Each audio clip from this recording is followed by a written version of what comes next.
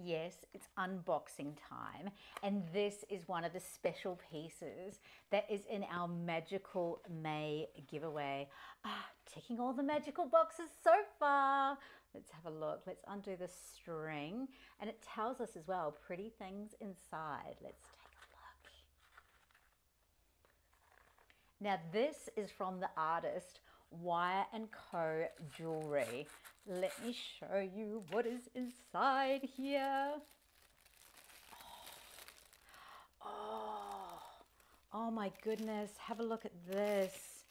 This is absolutely stunning. Now, what you may not know is that every single one of these parts of wire have actually been hand wrapped and bent by Florence from Wire & Co Jewelry.